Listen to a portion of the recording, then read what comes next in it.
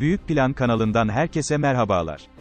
ABD Dışişleri Bakanlığı siyasi ve askeri işlerden sorumlu müsteşarı Clarke Cooper, New York Yabancı Basın Merkezi tarafından düzenlenen, tercih edilen güvenlik ortağı olarak ABD, 2020'nin önemli noktaları ve 2021'e bakış konulu briefingde gazetecilere konuştu.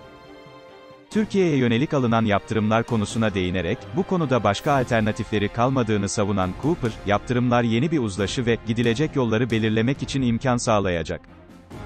Değerlendirmesinde bulundu.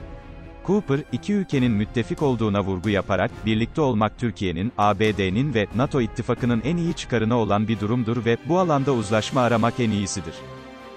Bu bizim ve Ankara'daki mevkidaşlarımız için biraz çaba gerektirecek bir durumdur ifadelerini kullandı. Türkiye'nin uzun vadede NATO müttefiki olarak kalmasını istediklerini vurgulayan Cooper, ABD Türkiye ile yakın ikili ilişkileri sürdürmek istiyor.